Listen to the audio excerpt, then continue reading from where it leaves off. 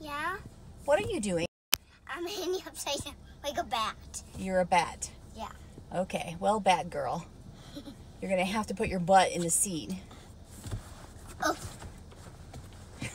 Buckles up, Buttercup. Got to. Buckles up for safety. how about I just do my top buckles this time? Nope. Just this time. Nope. And then after that, if if it doesn't look, I will put my bottom buckles on. Nope. Compromise. Not when it comes to safety. Come on. I know. Just one time, just one. How about you put your buckles on and I let you smell the, the smelly good laundry stuff that we got? Will that work?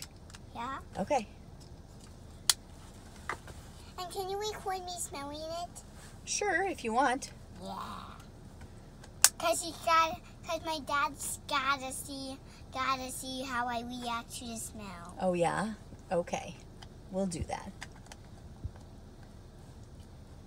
And can you, and if my smelly bunny gets a cut in it and it loses her disc, which smells, can we just put some of those pellets in? Probably. Yeah, probably so. Yes. All right.